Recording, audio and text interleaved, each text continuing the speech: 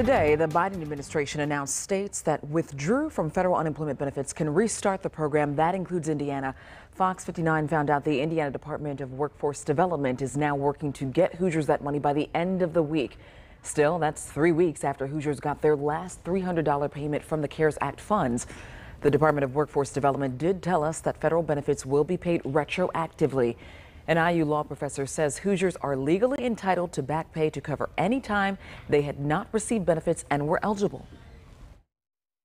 These are broader benefits than the ordinary unemployment compensation benefits. I mean, these are the benefits that were passed under the CARES Act that was signed by President Trump, and it includes the $300 weekly add on, and it includes compensation uh, uh, for a longer period than people are generally uh, eligible for.